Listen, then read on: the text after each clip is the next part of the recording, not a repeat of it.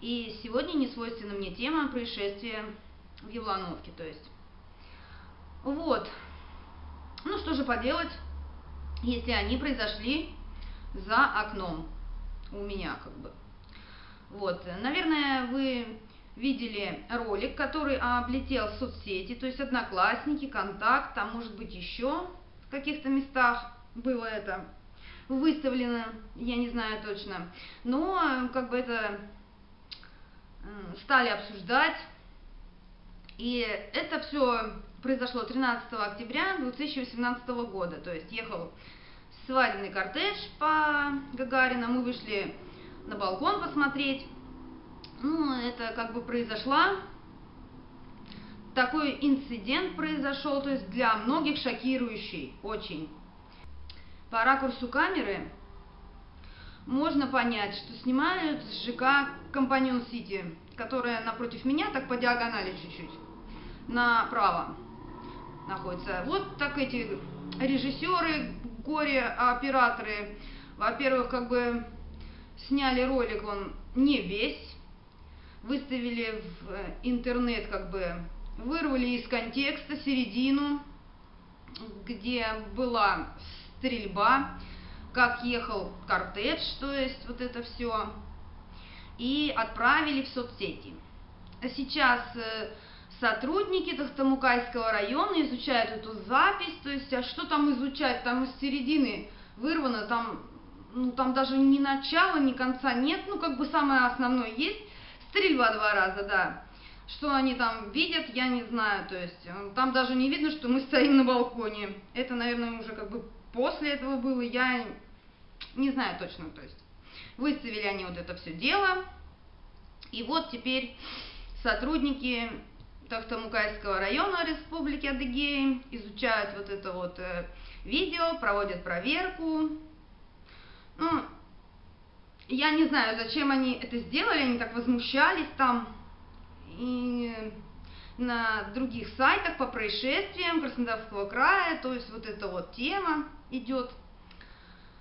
Вот, 13 октября 2018 года, как бы, Э, все происходящее мы видели сначала до конца, стояли на балконе, но не снимали.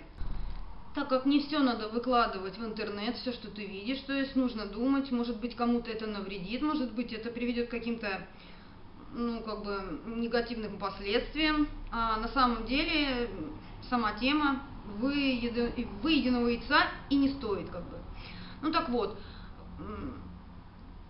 ну, то есть э, я считаю, что люди, которые любят контролировать и указывать, не давать советы, там даже вот просто какие-то советы, когда кто-то дает тебе, когда ты не спрашиваешь, тебя бесит, да, а вот еще есть такие, которые указывают прям вообще, как тебе делать, как тебе жить, то есть почему именно так. Вот они приехали, а я не знаю откуда, да, в чужую республику, и они указывают, как бы можно вот это делать или нельзя это делать. Ребята, это их дом, это республика Адыгея, и они здесь привыкли испокон веков, постоянно, как бы много лет, э, у них традиции, у них...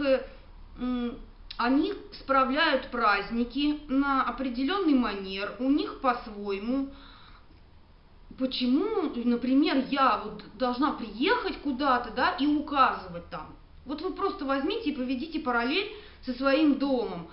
Ну, вот вы представьте, что вы, например, пришли к соседу и начинаете там указывать, ой, ты, ты Вася не так поставил шкаф, ой, так, наверное, неудобно, да нет, точно неудобно, вот я смотрю, то есть это смотрите вы. Вы указываете у себя дома. Как вам нравится, так вы и делаете. Почему вы пришли к кому-то, только что приехали, да, и начинаете, вот, да это такое, да это неправильно, да как так можно? То есть это вот э, бабки сидят на лавочке, вот, Ксюша надела слишком короткую юбку, да, так нельзя делать, или там...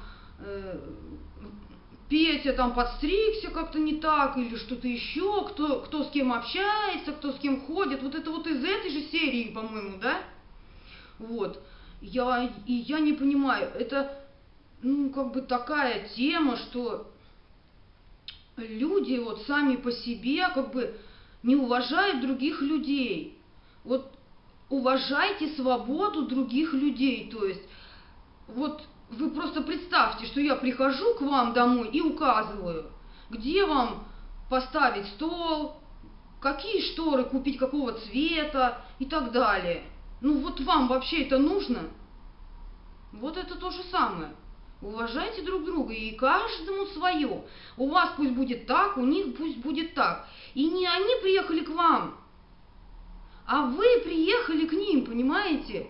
Это же так просто. Я не понимаю.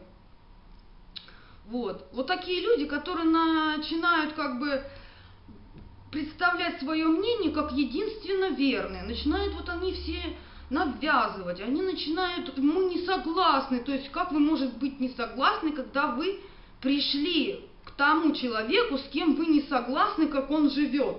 Ну это же прям, ну какая-то глупость, это примитивность мышления, это, я не знаю, откуда вы приехали там из Компаньон Сити, кто снимал вот это.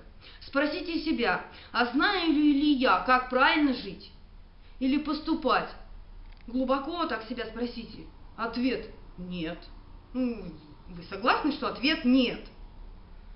Могу ли я утверждать, что мое мнение единственно верное? Нет. Подумайте об этом. И вообще, как бы, такого нет. Все люди разные, у всех свое. И просто развели суматоху куры в курятнике. Именно суматоху, потому что это просто кипиш такой – ни, ни о чемный, он не приведет ни к чему. Абсолютно. Это просто смешно, просто, ну, просто смешно. Ребята, у себя дома, и еще раз вам повторяю, ничего плохого они этим никому не делают. Они стреляют на свадьбах у себя, это радость, они так выказывают, то есть. И это длилось у них на протяжении долгого времени, это традиции, и это наоборот очень интересно. Поэтому, наверное, и существует конфликт местных и понаехавших, потому что люди, приезжающие, начинают указывать, ставить свои рамки, э, какие-то устанавливает свои правила какие-то куда-то. То есть, ну это же Ребят, мне за вас тут прям стыдно.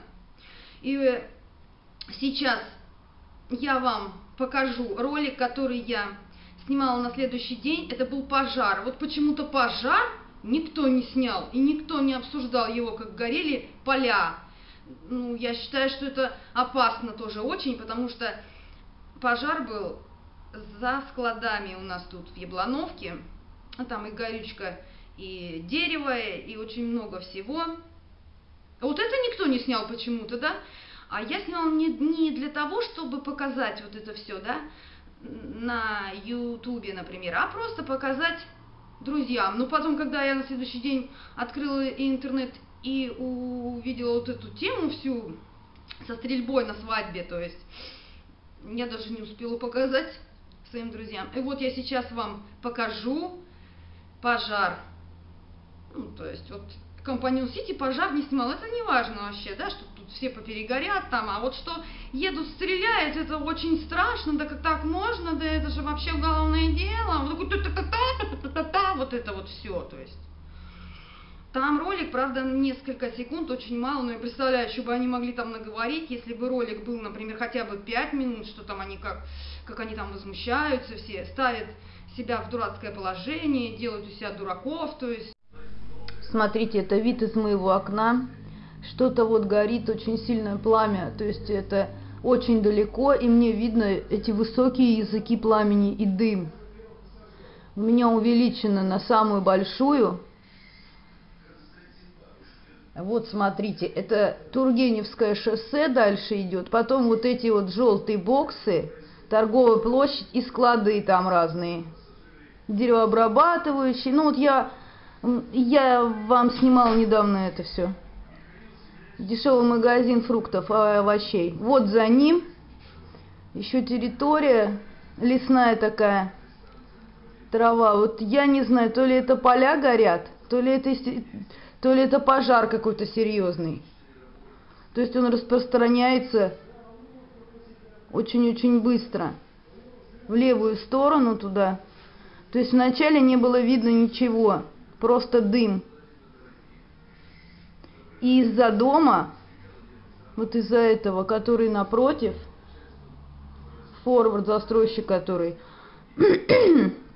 из-за этого дома не видно, то есть справа где-то вдалеке налево как бы шел дым.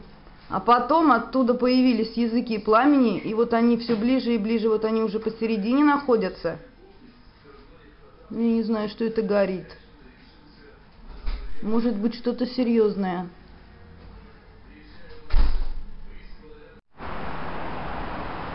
Вот уже стемняло и не не гаснет пожар, не затухает, как бы, а все сильнее разгорается. Смотрите, какая большая территория уже горит. Дым вообще черный. И вот смотрите, еще больше.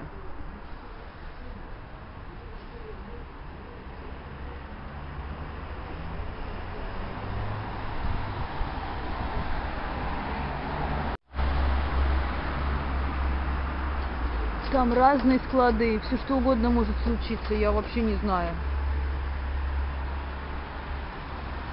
Зарево такое от пожара, смотрите. Вот это, смотрите, Гагарина улица. Ну, смотрите, где это точно. Вон там Компаньон Сити, это Форвард, это Гагарина. Вот, вот смотрите, где это. Это вид балкона. Вот луна. Уже темно, стемнело. Вот, смотрите, там. Вдалеке пожар, за складами. За базами, за этими. Видел. Ссылка у меня в описании будет сейчас с этой стрельбой на свадьбе. С вами был Чеширский кот. Пока-пока.